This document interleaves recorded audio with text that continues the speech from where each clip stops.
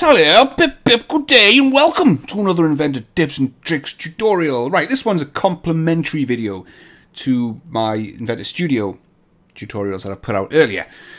It's all about codecs. Now, codecs, uh, codec is the algorithm, I guess you could say, that forms the video file that you save from Inventor. It's what makes up all the little bits and processes it into a video file. So when you say to Inventor, right, render, make an AVI file, it needs a codec to generate the contents of the AVI. That's, I think, the simplest way I can put it.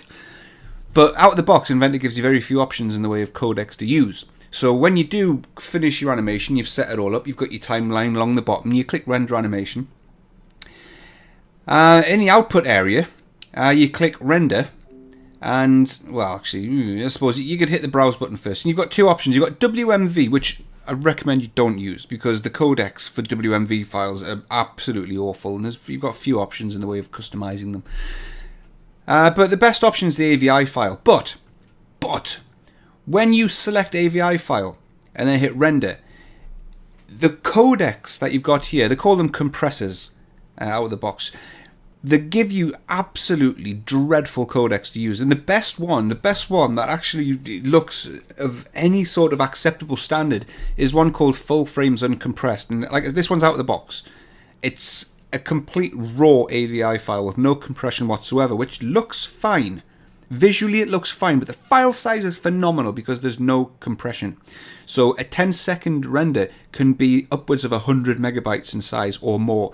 And when you start looking at a minute's worth of a render, you've got like a, you know, maybe upwards of a gig in file size, which is just unmanageable. You can't email that to nobody. You can't, you know, you're gonna have to put a, D, a one minute video on a DVD. Come on, no, no, no, no. So you need to find a codec.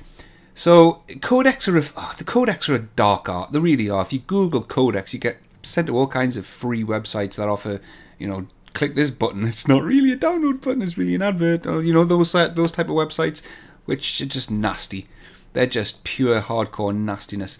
So, here's a tip. Open up your Internet Explorers or Google's Chrome and go to www.xvid.com or xvid.org. The website slows balls. It'll get there eventually.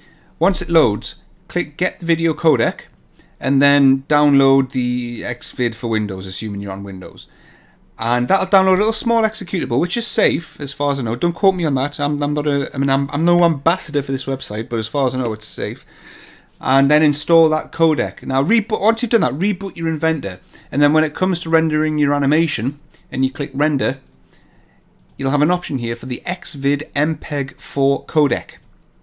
You can configure it if you want to, so you've got some options here. I'm not, I haven't tested whether or not these actually make much of a difference. If you want to, you could just leave it box standard. Leave it bog standard, click OK, and then just let your render go through and finish. Uh, I, haven't, I, haven't, actually got I haven't actually got an animation. I'm just showing you the codec.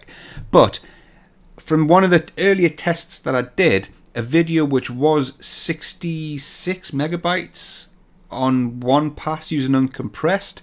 When I used the Xvid codec, it was about one megabyte. So that's the kind of scale we're looking at here. It's phenomenal. It's just incomparable. So as far as I know, that's a really good codec to use. The visual quality of the final AVI using that codec is just as good, as far as I can see, as uncompressed. It's a superb codec. Um, when you're sending the video to people, you might, in some cases, depending on the PC you're sending it to, you might need to send them the, um, you might need to send them a copy of the codec. I'm not too sure. You'd have to sort of play that by ear.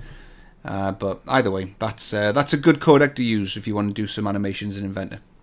So thank you very much for that. Press like if you liked this, if it was useful, comment, etc., and subscribe and all that sort of stuff. And I'll see you later. Bye.